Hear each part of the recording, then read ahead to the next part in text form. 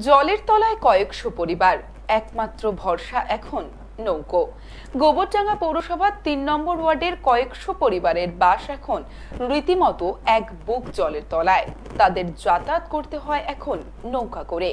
উত্তর চব্বিশ পরগনার গোবরডাঙ্গা পৌরসভার তিন নম্বর ও আট নম্বর ওয়ার্ডের যমুনা নদী লাগোয়া প্রায় দুশো পরিবারের এই অবস্থা। বেশ কয়েক বছর ধরেই চলে আসছে এই পরিস্থিতি।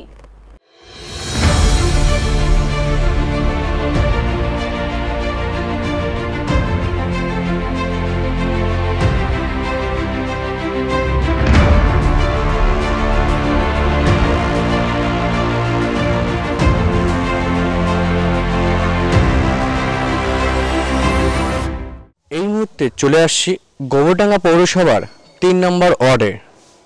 ভাবছেন নৌকাতে, নদীপথে? না। আমরা পাকা রাস্তার উপরে হাঁটু জলে।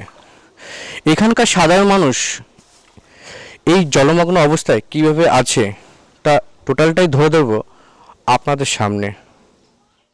কয়েকদিন ধরেই লাগাতার বৃষ্টিতে জনজীবন বিপর্যস্ত হয়ে পড়েছে গোবরডাঙ্গা পৌরসভার তিন নম্বর ওয়ার্ডের জলের তলায় কয়েকশো পরিবার। যাতায়াতের একমাত্র ভরসা, নৌকা। দূর থেকে যদি তাকিয়ে দেখা যায়, তবে মনে হবে আপনি কোনো নদীর কাছাকাছি পৌঁছে গেছেন। কিন্তু আসল নদীটা হলো বেশ কিছুটা দূরে, যার নাম যমুনা। কিন্তু বাস্তব চিত্র হলো এটি, এটা কোনো গ্রাম্য এলাকা বা পঞ্চায়েত এলাকা নয়, এটি সম্পূর্ণ পৌরসভা এলাকা। এলাকাবাসীর দাবি এখনও পুরসভা থেকে তেমন কাউকে দেখা যায়নি যারা এই জল যন্ত্রণা থেকে তাদের উদ্ধার করবে। প্রতি বছর আসে মাপযোগ হয়, জল কমে গেলেই রাস্তার কাজ শুরু হয়ে বলে শুধু প্রতিশ্রুতি দিয়েই চলে যায়। আমরা যে এখানে কাজ, আমরা বসবাস করি, যে আমাদের যাতায়াতের এত অসুবিধা, সেটা যারা দেখে তারাই একমাত্র অনুভব করতে পারে। হ্যাঁ এটা তো আর বলে ভাষায় বলে প্রকাশ করা যায় না সব কিছু হ্যাঁ।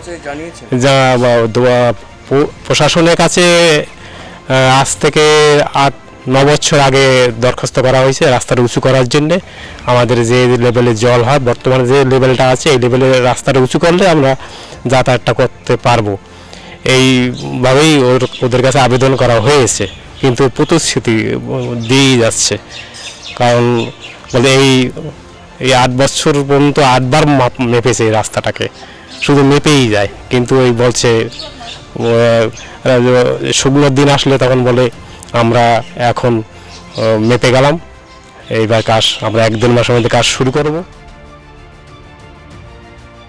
গোবরডাঙ্গা পৌরসভা তিন নম্বর এবং আট নম্বর ওয়ার্ডের যমুনা নদীর লাগোয়া প্রায় দুশো পরিবারের এই অবস্থা এক দুই দিনের নয়। বেশ কয়েক বছর ধরে চলে আসছে এই অবস্থা। তাদের আরও অভিযোগ, এই দুই ওয়ার্ড যমুনা নদীর সংলগ্ন এলাকা। তাই গত কয়েক বছর ধরে বর্ষার আগে বা পরে এই পরিস্থিতি হয়।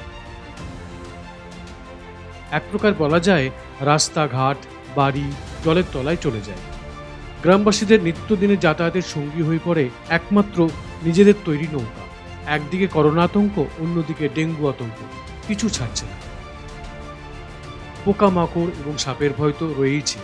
জলের মধ্যেই বাধ্য হয়ে তারা দৈনন্দিন জীবনকে বেছে নিয়েছে এইভাবে।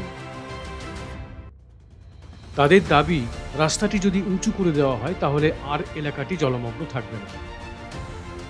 এই বিষয়ে গোবরডাঙ্গা পুরসভার প্রশাসক মণ্ডলীর সদস্য শঙ্কর দত্ত জানান এটি আজকের ঘটনা নয় এটা যুগ যুগ ধরে হয়ে আসছে। যমুনা নদী সংস্কার করে জলটা বার না করা পর্যন্ত সত্যি খুব সমস্যা।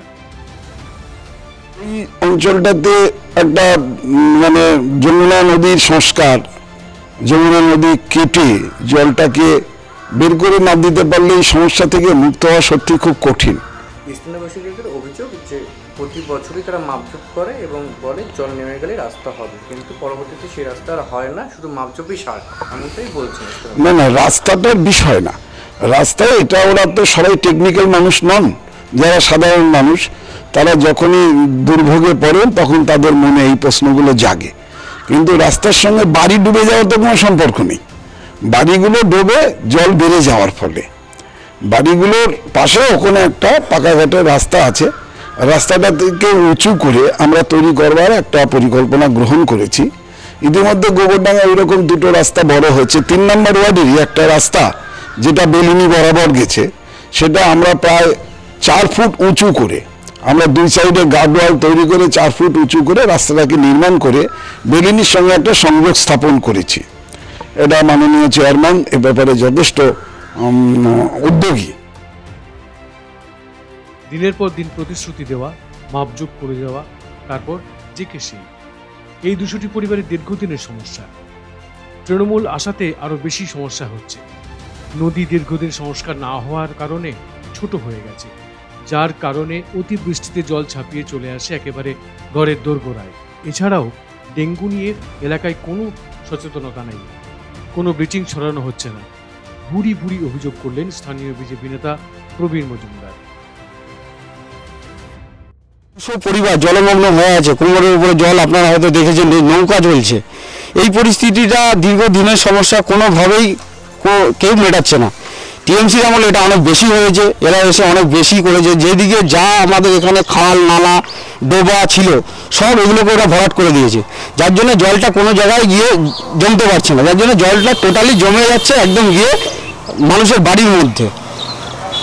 সেই পরিস্থিতিতে দাঁড়িয়ে গোবরডাঙ্গার কোনো এখনও পর্যন্ত আমরা সতেরোটা ওয়ার্ডেরই এই সমস্যা।